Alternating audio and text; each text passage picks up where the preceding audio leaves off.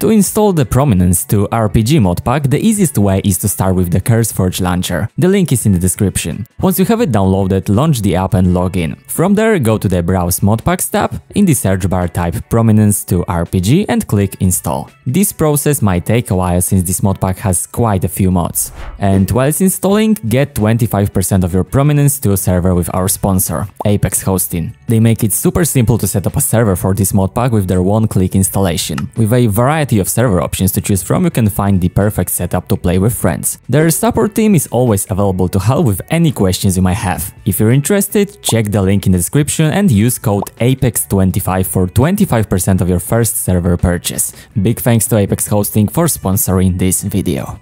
Once the installation finishes, just hit play and you'll see Prominence 2 RPG appear in your Minecraft launcher. Start it up and again, be patient, it might take some time because of all the mods included. As you can see, the game loads up perfectly and we are ready to create a new world. Another option is to use the Prism Launcher. After downloading it and logging into your Minecraft account, click Add Instance. In the CurseForge tab, search for Prominence 2 RPG, select it and hit OK. The launcher will start downloading the necessary files and might prompt you to manually download a few mods with direct links. Just confirm once you've downloaded them and the installation will wrap up shortly. Now you're all set to launch the game and dive in.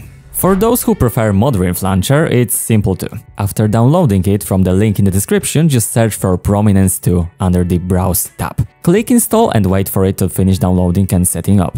Then launch the modpack. If you haven't already logged into your Minecraft account, the launcher will prompt you to do so. After launching, you need to manually download a few mods that Modrinth couldn't provide due to licensing. Download them and place them in the mods folder by right-clicking the modpack instance, selecting open folder and dragging them into the mods folder.